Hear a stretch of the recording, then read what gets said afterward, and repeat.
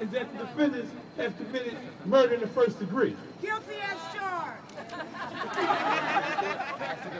bias. You enjoy, let me see. Okay. Shoot. We just have to have, have a fair, fair trial. Then we can hang them, right?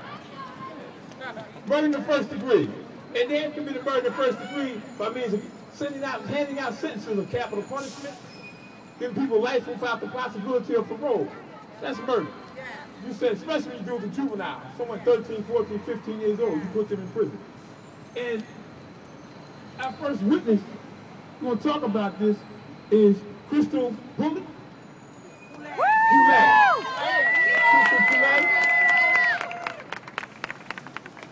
Crystal's a high school student.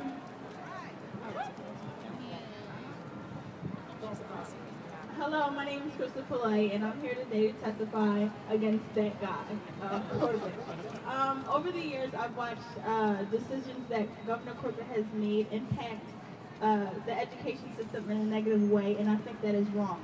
Uh, due to Governor Corbett's decisions, uh, some teachers at my school were, were fired, and these were the best teachers you could even you could you could have, and resources were cut from books to computers uh, I've watched my classrooms become overcrowded. I don't get the support I need anymore. Students leave school because they don't feel like they have support. They don't feel like their voice matters. They don't feel like education matters. And the reason they don't feel like education matters is because Governor Corbett makes it seem like education doesn't matter.